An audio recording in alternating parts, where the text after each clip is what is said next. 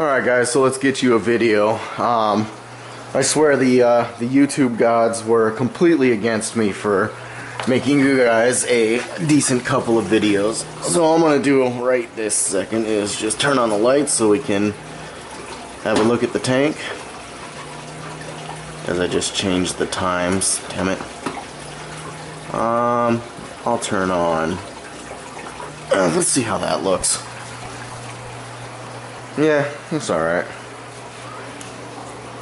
The uh, the bulbs just got to warm up and uh, the blue washed out effect uh, will go away quite a bit, not entirely.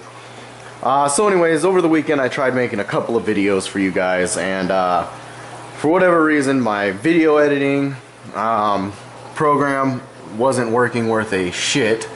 Um, I, for the life of me, could not edit a video and get it published. That was annoying. So then I made, uh, I tried doing a live web capture on YouTube and I couldn't upload that for whatever reason.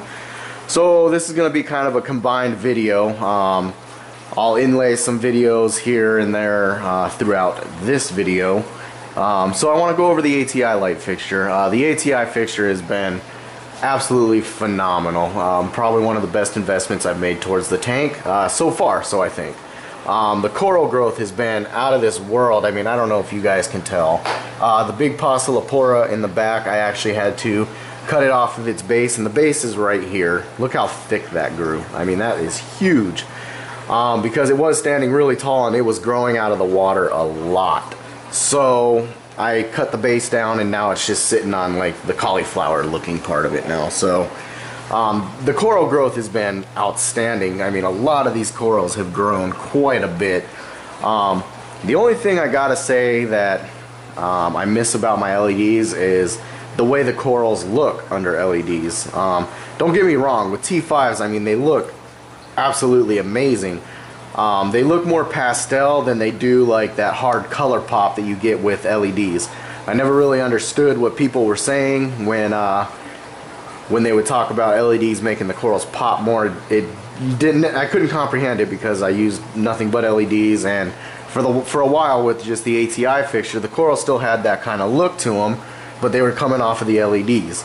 Um, so, with that being said, um, I do miss about the LEDs the way these these the colors on the corals really stood out. Like they were very very bright. Like some of these corals look really bright but under the actinics on the LEDs it was like whoa. And the tank was just more fluorescent. It was I don't know it's hard to explain.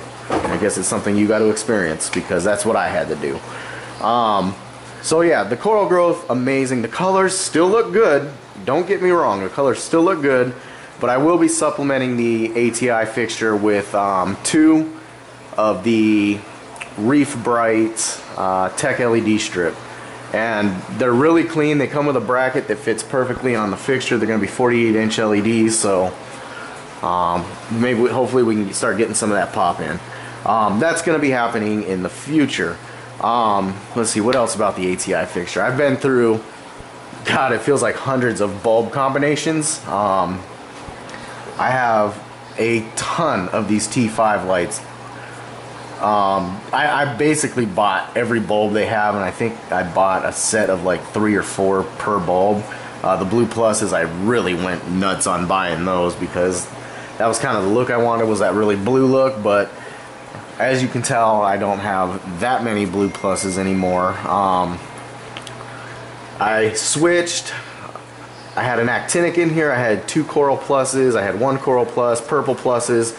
I tried every combination the the look that I'm really really liking right now is right now I have six blue plus um, one coral plus and the other one is an aqua blue special. The combination has been great. The tank looks great. I'm still getting that growth. And trust me guys when I tell you that I see daily growth in this tank daily. Um, some of the corals grow a lot slower than the others. Some grow super fast. That Forest Fire Digitata is taking off. It's growing into the green slimer now, and they're kind of intermingling, and it's starting to look really cool. Um, that cap, everyday growth. Um, the strawberry shortcake, everyday growth. The blue dragon is taking off. I see just about everyday growth on those corals. In particular, the stylophora you know, if I look at it at the end of each week, there's some definite growth. Um, so, ATI fixture, that combination has been working very well for me. Um, one thing I noticed with the uh, light diffuser or the plastic that goes over this, the guard, um, and I think it actually has a lot to do, having the plastic on has a lot to do with how this thing um, is able to achieve the ventilation that they claim. Uh, keeping the bulb temperature optimum and all that.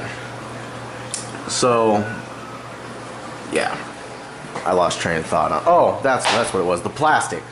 Um, you got to clean it um, with dust. I haven't had salt creep problems because the light fixture is actually pretty high. Um, but the dust, that will make the lights appear much dimmer than what they actually are. So you got to clean the lenses, or yeah, the lenses and that plastic.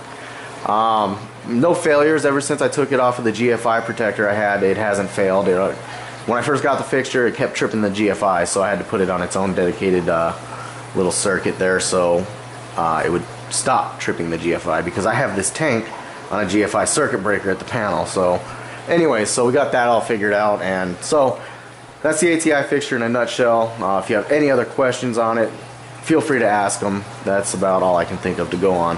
Um, you'll see I still have the same sump. Um, I haven't bought the LEDs. I've been playing around with wanting to buy them, but I haven't bought them for a couple of reasons. Well, one main reason actually, we'll just call it one reason, is um, we're getting ready to move.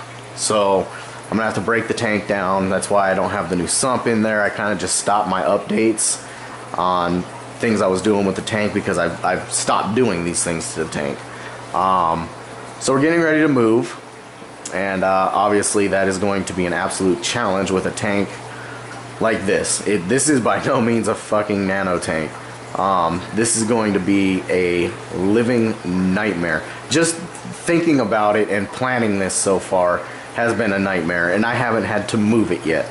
Um, so, I'm not moving this tank. This tank is no longer going to be with us. It's very sad to say that, um, but that is the decision I've had to come up with. Um, the new house is going to allow me um, much more flexibility on things that I have been dying to do in this hobby. So that's kind of a nice thing. So with that being said, the reason why this tank is going away is I'm getting the, in my opinion, the ultimate tank that I've been looking at. Um, there's two tanks I'm in between. The marine, they're both Marineland deep dimension tanks, and uh, the one is the 250 gallon, and the other one is the 300 gallon. The only difference between the two tanks is one is five foot and one is six foot. Um, I'm leaning more towards the 250 gallon, but I might just do the 300 because of the dimensions. It's a 6 foot by 3 foot by like 27 inch tall tank. It's phenomenal. Um, the 250 is amazing. So I'm going to be selling this tank. Uh, the stand, the sump, um, not those lights. I'm going to put my old LEDs on there and sell the tank with those LEDs since I'm never going to use those again for anything. Um, I'll probably leave that return pump there, but I'm going to be taking the rest of my equipment, my electrical, my pumps, um, all of the livestock. Um, I hope. I'm hoping I can um, achieve that goal. Um, so the, the goal is to keep all the livestock. What I'm going to be buying is a uh, 4 foot by 24 inch by I think it's a 30 inch tall 150 gallon just standard tank so I'm gonna buy one of those. Um, that'll give me, again, kind of the flexibility with those dimensions to still keep the rock work somewhat intact and not have to break a bunch of corals because where I place these corals is right at the joints of where the rock pieces connect. Um, so that should be easy. And most of the bases haven't quite, well, some of them have. Um, but I don't have a lot of coral growth over those joints right now so should make it easier so um, yeah that's that's what's going on guys I mean I'll uh, there's not gonna be really many updates on this tank now because there's nothing to really show except for you know if I change a bulb or something or you know something comes up that's worth YouTubing it um, will I do a video but there's not gonna be much to update on here my my upgrading of the tank has pretty much just come to a halt uh, until we get into the new house and settled there and all that. So if there's anything that you guys would like to see about the tank, just let me know, and I would be more than happy to shoot a video on that because it's gonna be hard not to shoot just a weird random video like this one. So anyways, uh, that's what's going on guys, and we'll uh, see you in the future.